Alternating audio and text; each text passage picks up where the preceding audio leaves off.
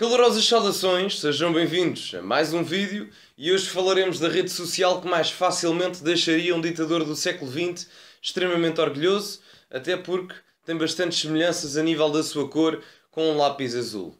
Senhoras e senhores, sem mais demoras, falaremos da censura do Twitter. No dia de ontem, André Ventura foi banido desta rede social durante 12 horas por dizer que queria que Eduardo Cabrita fosse decapitado. Agora, quem o viste assim a seco, das duas uma. Ou pensa que André Ventura fez uma viagem no tempo e foi parar à Revolução Francesa, ou então pensa que André Ventura é efetivamente uma besta. Mas é preciso contexto para delinearmos esta situação e para a contarmos. E o contexto não tem muito que saber. Basicamente, houve um polícia que disse: Eu quero que André Ventura e todos os racistas sejam decapitados. Como tal, esse polícia ficou com um processo e teve que ser suspenso temporariamente, e Eduardo Cabrita erradicou essa suspensão a esse polícia há poucos dias atrás. E como tal, André Ventura disse aquilo que nós acabámos de ver no tweet que eu pus anteriormente. Agora ao outro lado, não me parece que seja exemplar, quer em tom literal a nível do polícia, quer em tom semântico a nível do político, que se anda aqui a sugerir decapitações porque um porco só é compreendido a partir do momento em que nós vamos para a lama com ele.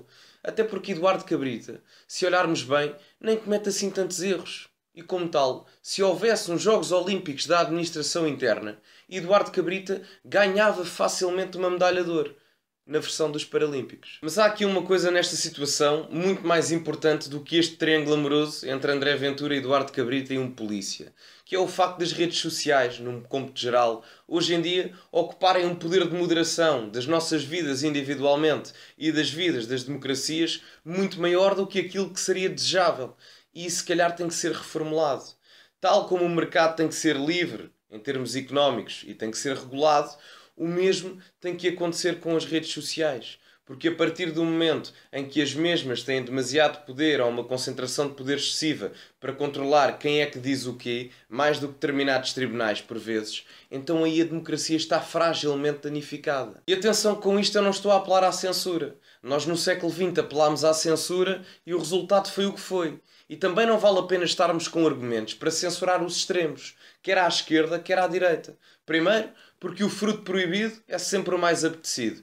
E segundo, porque nós só seremos pessoas boas a partir do momento em que soubermos aquilo que é uma pessoa má. E claro que no Twitter a censura é primordialmente feita à direita comparativamente àquilo que é feito à esquerda. Por exemplo, Donald Trump, apesar de viver num país democrático, foi erradicado da rede social.